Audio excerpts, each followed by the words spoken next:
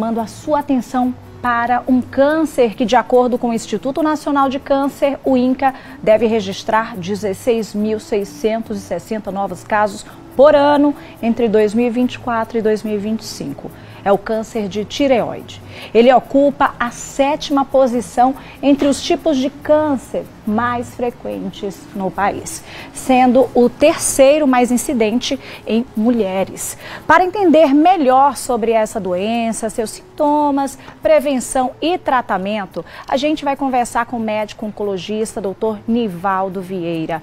Doutor, muito boa tarde, bem-vindo aqui ao nosso programa. Boa tarde, Jaque, obrigado pelo convite. Para a gente começar, primeiro eu queria que o senhor explicasse qual é a função da tireoide no corpo humano e como o câncer pode prejudicar o funcionamento dessa glândula. Já que sua pergunta é incrível e realmente muitas pessoas se perguntam. A tireoide é um órgão muito pequenininho, é uma glândula pequena, no formato mais ou menos de uma borboleta, e ela fica no centro do pescoço, logo na frente das cordas vocais cada um pode tocar na tireoide, raramente vai sentir alteração na própria tireoide. Sim. E a tireoide é uma glândula muito curiosa, porque ela fabrica os hormônios que são responsáveis pela ativação celular. Então é como se o hormônio da tireoide fosse o combustível que as células precisam. E você me pergunta, que células, Nivaldo? Eu respondo, qualquer célula do corpo ela vai se abastecer desse hormônio da tireoide. E a gente e, baseado na presença do hormônio da tireoide, nós temos as células mais aceleradas e ela, no, numa aceleração normal Sim. ou menos aceleradas. A gente chama isso de metabolismo. Sim. Então, o hormônio tireoidiano, o hormônio que a tireoide tem a competência de secretar, popularmente nós chamamos, ou tecnicamente nós chamamos de T3 e T4, é o hormônio responsável pelo metabolismo para garantir que as células do corpo inteiro funcionem na velocidade, no ritmo adequado. Sim. Então o que é que nós temos? Normalmente a tireoide funciona no ritmo adequado desde a nossa vida, na, da nossa vida intrauterina. Desde que nós somos embriões, fetos, a tireoide já está secretando. Mas doenças podem acontecer em qualquer faixa etária. Existem crianças que nascem com a tireoide já machucada, doente, e, e a gente chama isso de hipotireoidismo congênito. Quando, quando a tireoide tem uma função mais baixa, a gente chama de hipotireoidismo. Quando a tireoide tem uma função aumentada, a gente chama de hipertireoidismo. O hipotireoidismo dá sintomas de redução do metabolismo, é, lentidão, fraqueza, cansaço, as unhas podem ficar quebradiças, o cabelo. E o hipertireoidismo dá sintomas de aceleração do metabolismo. Então, o coração acelera, a pele pode ficar quente, pegajosa. Porém, e foi o tema que você me trouxe, Sim. a tireoide pode desenvolver nódulos. Os nódulos são os tumores da tireoide. O mais comum é que a tireoide cresça e não tenha nódulos, e isso acontece por causa da deficiência na sua função. Mas pode acontecer o chamado câncer de tireoide. O câncer de tireoide não tem nenhum sintoma específico. Se alguém me perguntar, Nivaldo, existe alguma coisa que especificamente eu esteja sentindo que possa ser câncer de tireoide? A resposta é não. Não existe, então nenhum tipo de sintoma. O sintoma... Nem pegando, assim, Exato. a gente. Veja. Quando a gente pega e sente, às vezes sente um nódulo e já fica desesperado, né? É, veja, já que é comum que as pessoas tenham essa busca por sintomas que possam ser coisas graves. Sim. É, normalmente uma pessoa leiga, uma pessoa assim naturalmente, ela vai ter dificuldade de individualizar, de localizar a própria tireoide. Se ela estiver crescida, a pessoa pode até sentir. Algumas circunstâncias acontecem em que aparecem nódulos na tireoide que nem sempre os dedos do paciente conseguem identificar. Sim. É preciso dedos treinados, mãos capacitadas, os médicos que são especialistas vão conseguir, palpando a região da tireoide, identificar que essa tireoide tem algum tipo de nódulo. Que tem Ou, localizações específicas. É específico né? e é preciso uma sensibilidade, não é, não é, é, é Claro, existem as circunstâncias mais Sim. extremas em que é até visível Sim. o aumento da tireoide ou a presença de nódulo. Mas aí já seria algo mais avançado não também, tem, é, né? Não é o comum. Então, o que, eu, o, que eu, o que eu gostaria de deixar claro aqui é que não vamos esperar que exista sintoma Sim. específico da tireoide, não. Mas isso pode acontecer, a pessoa pode ter dor no pescoço, ela pode ter dificuldade para engolir, ela pode ter a percepção de gânglios, caroços no pescoço, seja pequenos, seja aumentados. Isso pode acontecer, mas normalmente, normalmente, as mãos treinadas de um profissional de saúde e os exames complementares. Quando a gente suspeita que haja alguma dificuldade, alguma alteração na tireoide, o mais comum não é que seja câncer, as alterações mais comuns da tireoide são alterações benignas, mas aí nós médicos, nós ou outros profissionais de saúde, solicitamos exames que vão ajudar nesse discernimento. Sim. O ultrassom é um exame muito simples, ele não tem, ele não, não tem nenhum tipo de invasão no paciente e pode ser feito. Em alguns casos existem exames de sangue que vão ajudar a gente também a entender melhor. E também existem outros casos de exames um pouco mais complexos, tomografia, ressonância. Mas você que está em casa não é para se assustar. Você engoliu uma espinha de peixe e está achando que a tireoide está machucada. Não, não é assim que funciona. É, é, é, é, uma situação incomum entre as coisas que a gente sente no pescoço. Quando a gente sente dor para engolir, normalmente é, é relacionado a outra coisa. Sim. Ou a amígdala está inflamada, ou tem algum machucado na boca. Não vamos aqui todo mundo está assistindo pensar, eu, eu dou para engolir 15 dias atrás, então eu estou com câncer na tireoide, eu estou disso. Não, não, não é isso, não, não vamos apavorar. Mas a presença de nódulos, caroços ou dor pode ser perfeitamente um sintoma relacionado a câncer de tireoide. É, doutor, lá no início, né, eu passei alguns dados, é, dados esses é, pelo INCA, né, informados pelo INCA, e aí a gente né, tem uma atenção maior para uma informação que é a incidência em mulheres, né, uma incidência maior em mulheres. Existe algum motivo específico para isso? Vocês foram agraciadas. Nós não conseguimos ter uma razão específica pela qual as mulheres têm mais câncer de tireoide. De fato, tem. É, alguns cânceres têm predileção de gênero, então existem câncer, claro, é, é, afora os órgãos exclusivos, próstata só pode acontecer em homem, colo de útero e endométrio, ovário, só pode acontecer em mulher. Mas é, pulmão, por exemplo, existe uma diferença entre homens e mulheres. Câncer de pele, existe uma diferença entre homens e mulheres. Câncer de intestino. E o câncer de tireoide é um, é um dos cânceres que existe diferença entre homens e mulheres. As mulheres são predominantes. Mas a, se você me perguntar qual a causa disso, não, não existe, existe explicação. Não, não existe explicação. E tanto para homens quanto para mulheres, o tratamento é essencialmente o mesmo. E aí você me pergunta como se trata câncer de tireoide. Primeiro ponto é biopsiar para ter certeza que a gente está falando de um câncer de tireoide. Sim. Existem circunstâncias em que ao invés de fazer a biópsia é feita logo a cirurgia. E a cirurgia pode. Ah, essa aqui está parecendo que eu estou degolando, mas não é não. É porque faz um cortezinho assim. Então a cirurgia, ela tanto pode ser a retirada parcial da glândula tireoide, quanto ela pode ser a retirada completa da glândula, quanto ela pode ser, além de retirar a glândula, explorar, retirar os gânglios linfáticos, a gente chama de linfonodo, Sim. popularmente conhecido como íngua, que pode existir no pescoço. Sim. Então, o tratamento inicial, preferencial, é a cirurgia. Tirando é, essa glândula, a gente consegue sobreviver sem ela? É uma pergunta. É, é perfeito, né? perfeito. Que eu Jaque. acho que muita gente deve se fazer agora. Sim, se precisar retirar, como é que eu vou conseguir né, levar uma vida normal?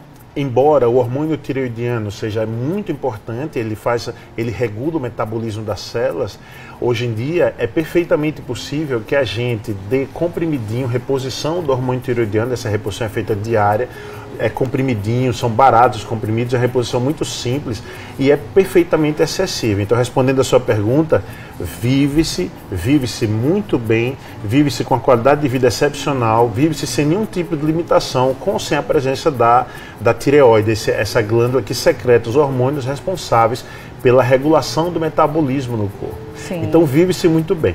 Para algumas pessoas, a cirurgia é suficiente. Para outras pessoas, além da cirurgia, é necessário fazer tratamentos complementares. O tratamento complementar mais popular e mais importante depois da cirurgia é um tratamento que a gente faz com iodo, Sim. só que radioativo. Existe, existe uma formulação de iodo, assim como a gente tem na farmácia tintura de iodo, como tem iodo no sal, existe iodo, só que num composto radioativo que a pessoa recebe, fica no quarto terapêutico e os locais do corpo que por acaso ainda persistam de tecido tireoidiano, porque a gente pode ter tecido tireoidiano em outros lugares além do hum. centro do pescoço, eles podem Seria uma ter... espécie de radioterapia? E É, é, uma espécie de radioterapia, só que ao invés de ser o raio feito externamente, a radiação vai dentro da substância química. Então, você toma uma solução de iodo e essa solução de iodo ela é radioativa. A quantidade é muito pequena, não causa dano para as pessoas que estão próximas. Mesmo Sim. assim, quem toma é, é, é, é, guardado, fica num quarto com paredes de chumbo até que a secreção do corpo dessa pessoa, a urina, as fezes, já tenham decaído e aí a pessoa não consiga mais contaminar as outras pessoas e tudo mais por causa dessa radiação. Mas a radiação, ela, ela não é no momento que se toma somente, ela vai concentrar no tecido da tireoide, se tiver permanecido, e vai continuar irradiando ao longo do tempo, só que em doses cada vez menores, numa, numa velocidade, a gente chama de decaimento, uma velocidade de decaimento que a pessoa fica livre de, de expor os outros a riscos de radiação. E aí, nesse caso, é preciso que fique afastado, né, durante um período? Isso, isso. Normalmente, média, isso, normalmente um, um, dois dias. Ah. Período curto. É curtíssimo, é curtíssimo. Um dia, 24, 36, e é 48 somente para as pessoas que já são é, apontadas como o câncer mesmo, que já tenha tido câncer, ou, ou, é que no caso Isso. já tenha sido apontado o câncer. E perfeito. É, o, o, iodo radioativo ele tanto pode ser feito como complemento depois da cirurgia para câncer, como tratamento também para as pessoas que têm a tireoide que estão funcionando uma quantidade muito grande. A gente chama isso de hipertiroidismo. Existem circunstâncias em que a tireoide está funcionando muito e que as tentativas com medicamentos não foram suficientes. E aí pode ser feito também esse tipo de radioterapia, iodoterapia, pode ser feito para ajudar a controlar os sintomas. Então, em geral, destrói uma parte dessa tireoide hiperfuncionante, ela vai ser destruída por causa desse iodo radioativo. E aí a tireoide restante ela vai conseguir assumir a função. E se ela não assumir, a gente tem como dar comprimidinho para essa pessoa que tenha sido destruída pela radiação. É um procedimento extremamente simples. O câncer de tireoide, na extensa maioria das vezes, ele é curável ou ele tem um comportamento muito indolente, muito lento, muito assim de, de baixa toxicidade, normalmente. Existe em condições muito menos frequentes, quase raras, cânceres na tireoide que são mais agressivos. Para esses, a gente pode fazer uso de, de terapia alvo molecular, de radioterapia externa, às vezes até mesmo de quimioterapia. Pode ser feito. Não é a regra, é muito, muito incomum que a gente chegue nesse ponto, mas isso pode acontecer. Doutor, é, existe alguma ação preventiva, assim, ó, posso evitar esse tipo de câncer? A gente pode fazer algo para evitar o câncer de tireoide? O câncer de tireoide, especificamente, nenhuma ação preventiva tem comprovação de resultado. Nenhuma ação preventiva. Então, de fato, para as pessoas que têm algum tipo de sintoma, poderão procurar o médico e checar, sobretudo se o sintoma for persistente, não é, não é porque comer uma coisa mais áspera deu dificuldade de engolir e ali já não. Mas o sintoma que continue, persista, nodulação, gânglios no pescoço, dificuldade crescente para engolir, dor para engolir, essas pessoas devem procurar. Mas nós não, nós não temos medidas comprovadas que consigam prevenir o câncer de tireoide. Antigamente, antigamente, quando as pessoas faziam muito mais radiografia de tórax e quando a dose da radiação era muito alta, colocava-se uma proteção no pescoço e isso é uma forma de prevenir, porque aí a pessoa não recebe radiação, sobretudo quem trabalha com isso, quem precisa se expor às, às, aos raios-x. Essa é uma medida que a gente pode considerar como sendo preventiva, a proteção de chumbo nas pessoas que precisam trabalhar com radiação. Mas esse é um cenário que a gente enxerga cada vez menos, é um cenário muito específico, ou para profissionais de saúde que estão trabalhando com isso, ou para pessoas que estão precisando se expor à radiação. Mas, de uma forma geral, para a população geral, a gente não falaria em prevenção, não. A gente fala em detecção, detecção precoce, cuidado com a saúde, conscientização, saber o que é a tireoide, para que, é que ela serve. Doutor, quero agradecer né, a entrevista, muito esclarecedora. Espero que vocês de casa né, tenham tirado dúvidas, assim como nós tiramos, né? Mensagem que a gente pede agora de conscientização, que é importante, né? Acende um alerta num momento como esse. Eu queria que o senhor deixasse essa mensagem para todos os telespectadores do Você em Dia. Eu agradeço a oportunidade e eu acho que é, eu pego um gancho para falar de uma outra coisa. O Brasil hoje vive é, uma dificuldade muito grande com as inundações e as enchentes do Rio Grande do Sul. E a mensagem que eu queria deixar não é para o câncer de tireoide, eu queria deixar a mensagem de solidariedade para todas essas oportunidades, todas essas ações que estão aparecendo para ajudar as pessoas no Rio Grande do Sul. Eu tenho participado de diversos grupos, grupos de médicos que fazem atendimento remoto das pessoas nas áreas de risco. Lindo. Nós fazemos, nós fazemos é, é, mutirão para poder doar amostras grátis para a região de risco. Então, é, é, essa é a mensagem que eu queria deixar hoje. É muito mais do que somente para o câncer de tireoide. Eu acho que o Brasil está de parabéns. O Brasil está sabendo cuidar de si, cuidar das necessidades. E eu queria reforçar essa corrente de solidariedade. Existe, existirá sempre alguma coisa que você aí de casa poderá fazer para ajudar as pessoas que estão passando situações é, graves, muito graves no Rio Grande do Sul. Obrigado. Eu que agradeço, né, não só pelos esclarecimentos, mas por essa mensagem de humanidade, né? Eu acho que, sem dúvidas, todo uh, momento que a gente puder realmente espalhar essa mensagem de humanização, né? E que a gente possa fazer cada um a sua parte, que a gente possa entender que toda vida importa, que todos somos um, né? E isso é muito importante, senhor, aproveitar né, uma entrevista como essa, né, depois de todos os esclarecimentos, falar, o senhor como profissional da saúde, né, fazer a sua parte, outros colegas e nós como profissionais também da comunicação, aproveitarmos esse espaço também e ajudar o próximo, né, gente? Sem dúvidas, nós temos uma missão. Todos nós que estamos aqui estamos por um motivo especial e que a gente possa aproveitar cada minuto, cada segundo da nossa vida para fazer a diferença na vida do outro. Muito obrigada, doutor. Parabéns, tá bom?